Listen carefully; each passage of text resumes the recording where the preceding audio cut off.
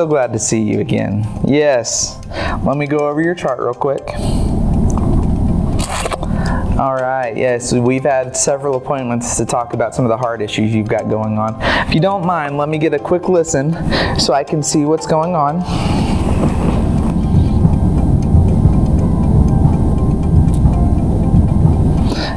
Okay.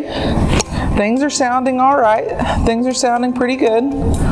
So tell me, how do you feel?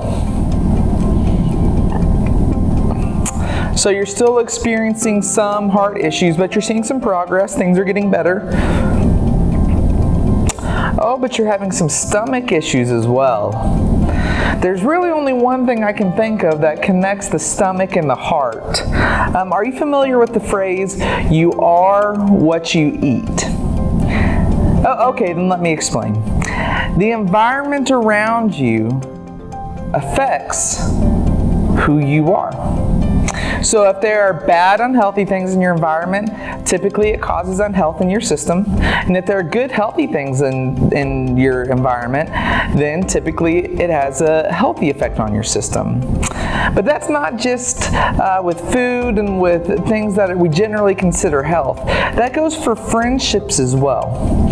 If we have good friendships around us, typically that brings health to our system. And if we have bad friendships around us, typically that, that brings some decay to our system. That brings some negative side effects. Yeah, and so there's also, we've been talking about love and how that affects the heart. There's also a love that kind of describes this as well. It's philia. So, philia looks like this.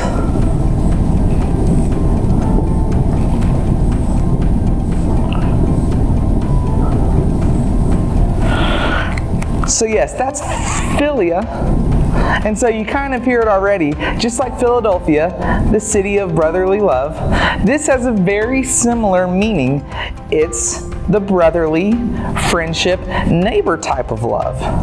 So it's how we interact with our community around us.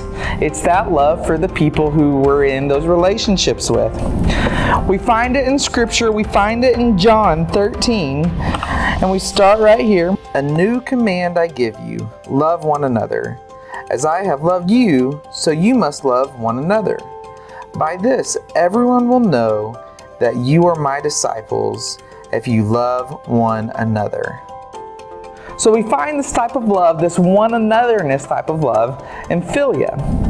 When we exert positive health into the relationships around us, we can change the whole system around us.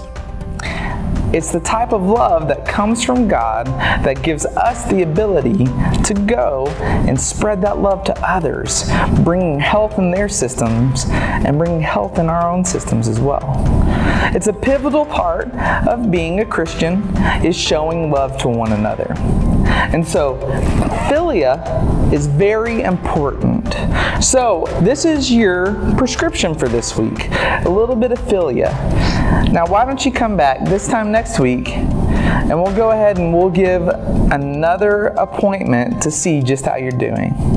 But until then, so long.